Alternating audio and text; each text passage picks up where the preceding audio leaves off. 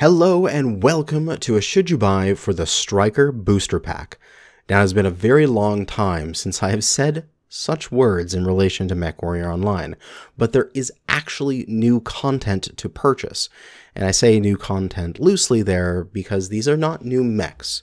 These are new variants for existing mechs. And as such, this is labeled not a mech pack, but a booster pack. Uh, I'm guessing they're trying to go for the feeling of like say for Magic the Gathering, where you would open a booster and maybe get a couple cards you want to use instead of say buying a pre-made deck or buying a large box whenever a new set comes out. Uh, that's the get like the feeling that I'm getting from them. This is a you know once every quarter it seems uh, boost to you know hey purchase this something new here's a a deal essentially. But let's go over what is in this Stryker booster pack. So first off, it is much cheaper and there's only one option. So normally with the mech packs, they would go like 20 $20 standard, $40 special version that would get you the um, special variant with 30% C-bill boost, uh, collector's edition. And then it would be like 15 for the hero, 15 for reinforcements. This is just $20 flat. You get everything in this. So we'll have to compare it essentially against what a uh, standard mech pack would be like. We have two new variants, one for the Thunderbolt and one for the Dragon. It's called the Grand Dragon here because the DR, DRG1G was the Grand Dragon, but it's essentially just a variant of the Dragon. It's not actually a new mech. It is the Thunderbolt 10 SE, which is just a variation of the 9 SE, and then the DRG 1G, which is, it's very similar to the Flame in terms of its hard points. You get both a special variant with a custom pattern and a 30% C-bill boost, the S version here, as well as a standard version of the variant and mech bays to hold them.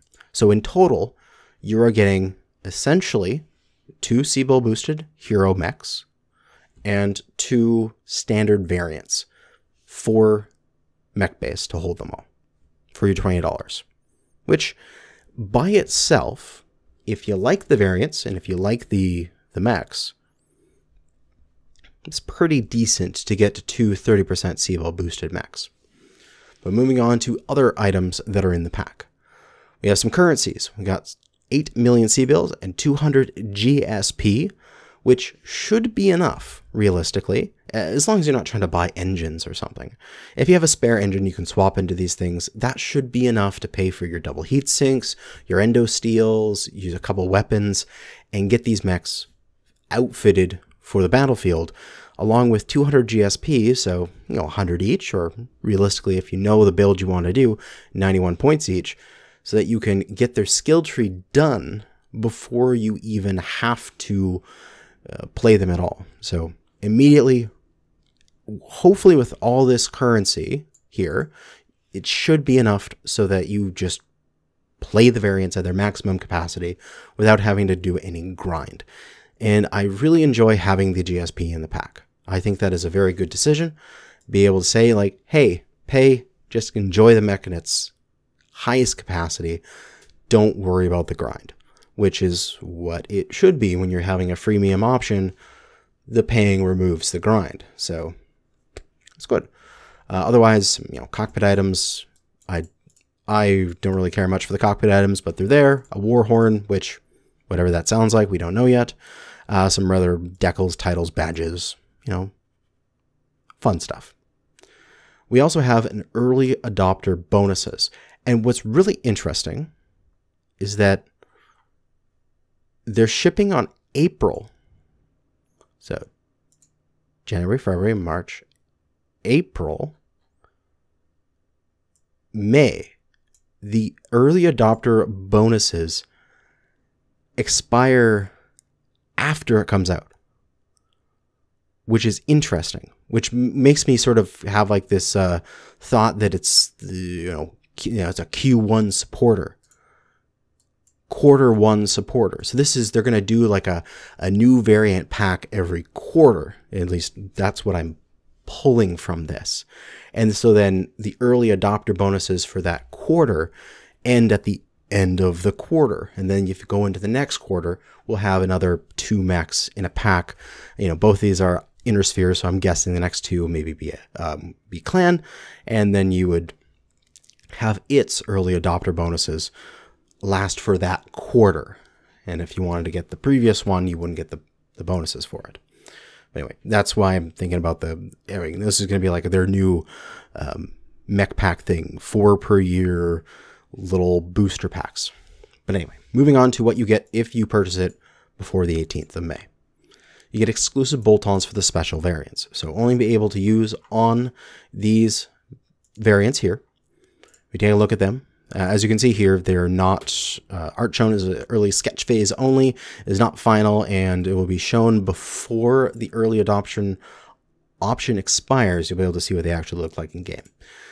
So we can see that the Thunderbolt just has some like added, almost looks like just like a blade of armor on it. Just, you know, like a, like a helmet and a pauldron and a gauntlet and a little bit of back armor. And the dragon has got a cool helmet, a shoulder pad, and changing up its hand to be more like claw-like and some wings or little jet thrusters or whatever the hell they are on its back. So, you know, exclusive bolt-ons and with the what they were saying how they're going to make it so that bolt-ons are permanently on and not shot off you can actually have some customization of your mech that you know, sticks around past three seconds into combat when somebody rakes an ER large laser across you and all your bolt-ons jump off so that's good as well an additional 200, 200 GSP. So that's not only leveling up your special variants, but that's also the regular variant as well. Or if you're like me, just just keeping the uh, special variant, you sell off the normal variant because unless it's like a really good mech that you want to take doubles into, you know, your dropship, why have doubles of a, a variant? that's just 200 GSP you can throw towards anything. Well, I have another mech that I have bought and I want to level it up, but I don't want to fight through having to, you know, play the mech without any bonuses. Hey, you know, if I purchase this, that mech is done already and I can just enjoy it at its highest capacity. So I like I like having the GSP in here, as well as hanging items times two, so two of them with a five percent sealable boost. So similar to God, they had these in the Civil War packs where they had little hanging items and cockpit items that had 5% XP and 5% C-bill boosts. And then you could like change them around and do whatever you wanted there. So that's, you know, another way to get a little C-bill boost. If you put it into your special variant of this, you're getting a 35% increase instead of 30. Uh, you probably can combine it with the mounted cockpit item from the Civil War and get you know, 40% C-bill boost, which would be wonderful. But let's go on to the most important part is the mech specs. Now, since these this isn't a new mech, I don't think I need to go through all of the breakdowns of how fast it'll be at certain speeds and like how many tons will it have with whatever engine and you know that kind of stuff. Because, you know, these mechs exist in the game already you can just go and grab a dragon in the client and click mech lab when you're in the store and just test it out as my phone beeps because I'm a very professional YouTuber. But you don't need this extra information from me about all of the, you know, different tonnage you have available. Just go play within the mech lab. So I'm just going to go over the, the hard points of these. For the Grand Dragon, the Dragon 1G it's essentially a flame. So the flame has two energy in each arm and a single missile in the center torso, if I'm not if I'm remembering that correctly. This similar layout, except that we have one energy in each arm, one energy in each side torso, and two missile in the center torso. Now the two missile in the center torso is kind of annoying because it's critical slot limited. We only have two slots there because the freaking engine is there. So how we can't really fully utilize the two slots unless we're going to do something like two SRM4s, two SRM2s, two Streak 2s. Um, because Streak 4s are two slots, if I'm not mistaken. God, it's been so long that I've since I played. I can't remember if Streak 4s are one or two slots. I think they're two. But or maybe like two LRM 5s or a single LRM 10, and none of this with Artemis. Because if you take Artemis, then it's just like a single 2 or a single 4 for SRMs in that center slot.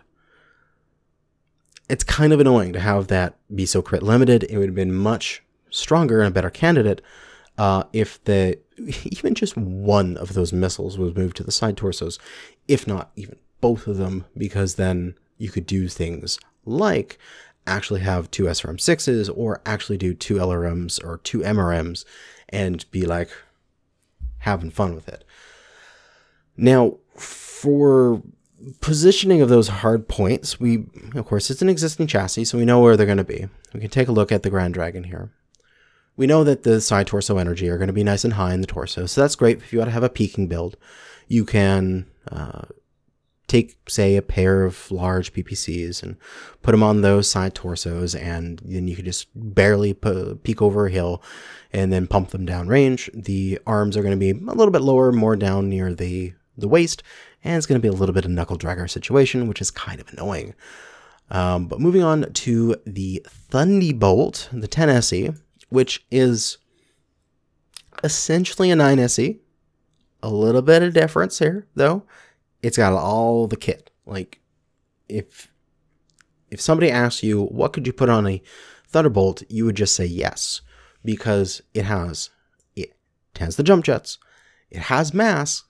Oh, sorry, it has ECM and it has mask. It has all of the kit here, all the special equipment, which is kind of nice. It's kind of an interesting thing. So you can make this thing stealthy, mobile, and fast, which is cool for a 65 tonner. Let's take a look at the hard points though. Left torso is going to be 3 energy and a single missile. Center torso is where you're going to find your ECM. And the right arm is going to be 2 energy.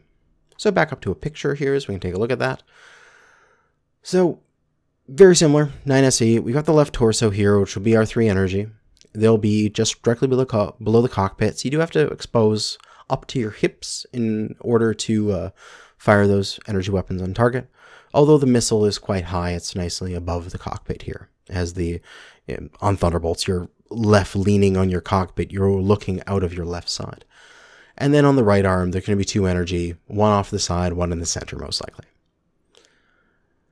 ECM center, and there wasn't anything right torso, right? Nah, just an AMS.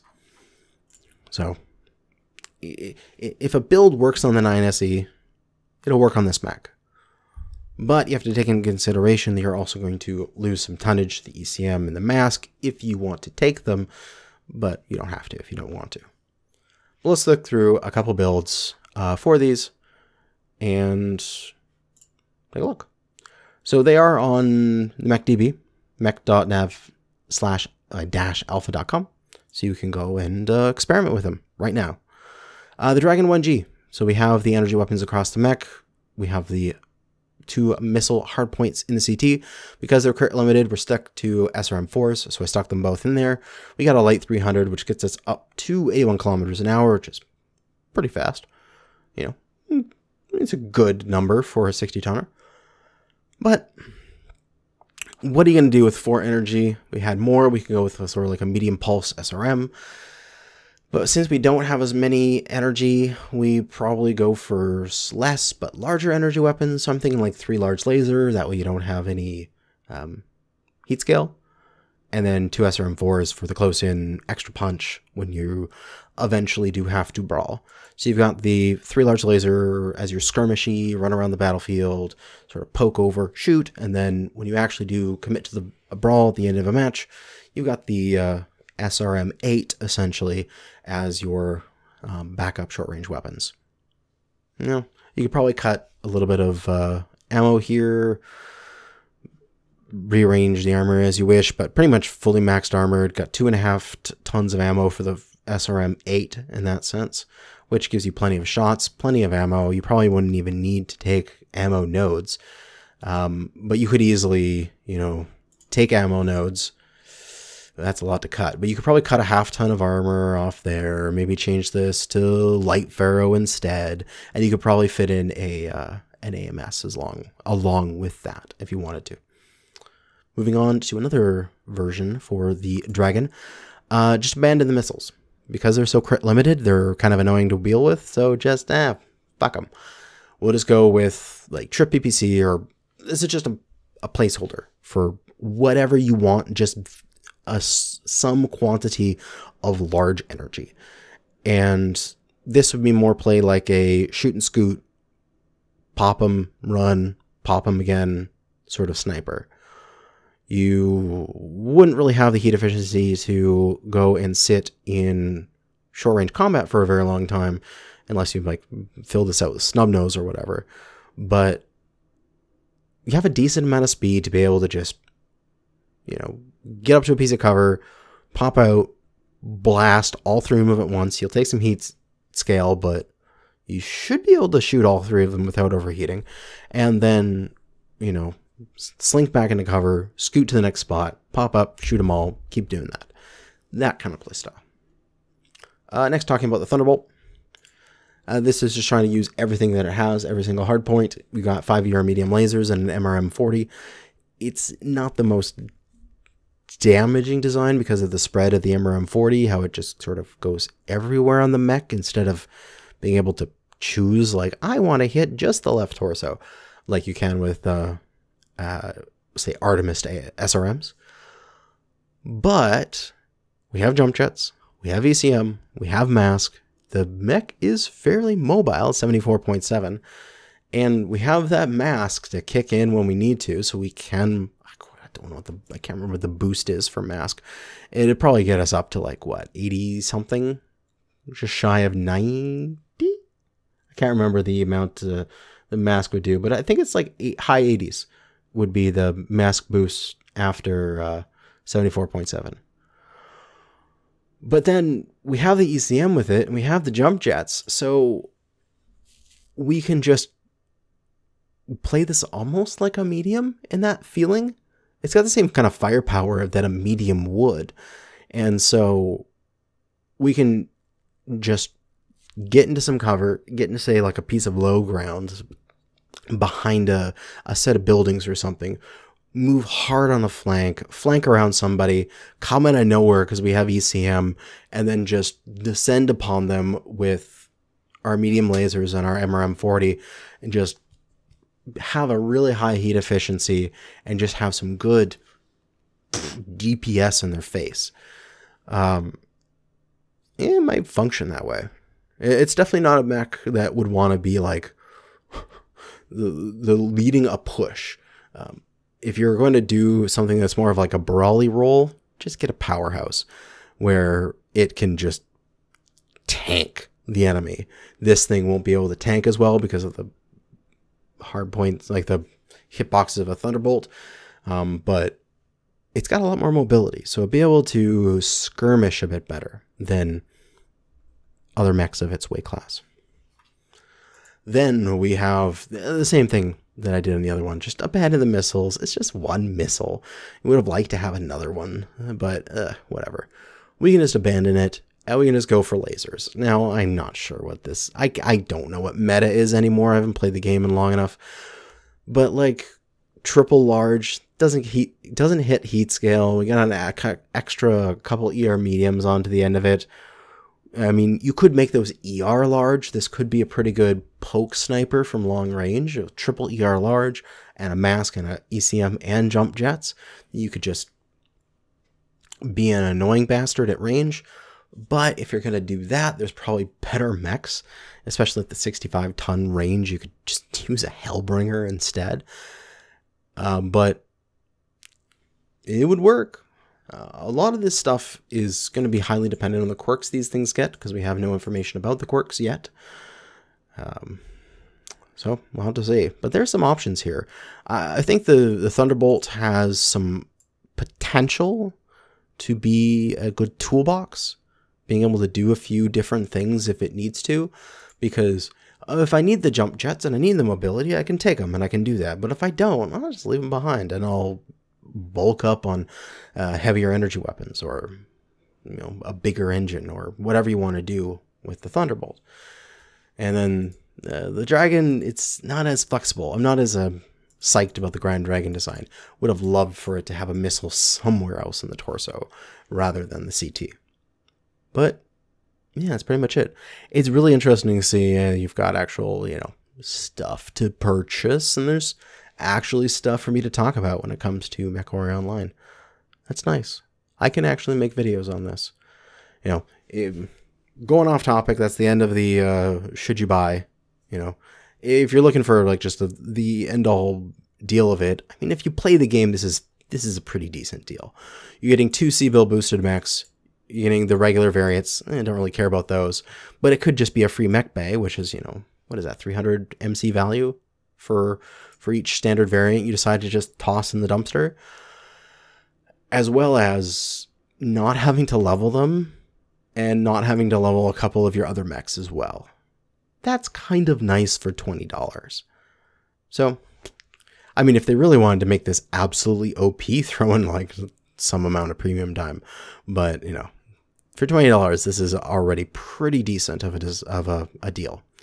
But moving on from just the should you buy version of this and more of my reflection of this is a there's actually something to talk about i can go and make when these eventually comes out i can make a video or two on each one so there's actual something for me to do in the game there's something new there's content even though it is just new mechs and not even new mechs but new variants some people might not call that content but it it's content enough that I can I can make my content on it. So, yeah. I'll get them. That's 20 bucks. Easy for me to throw it that way. Hope for the best. Hope that they'll improve the game over 2021. And uh, the real reason is I just have to poke a mech all the specials. If I don't get all the specials, I feel weird inside. so that's the entire reason. But thank you for listening. MechWar Online content in 2021. What is this world coming to? That's going to be it for now. Thanks for watching. Good hunting out there, fellow Mech Warriors.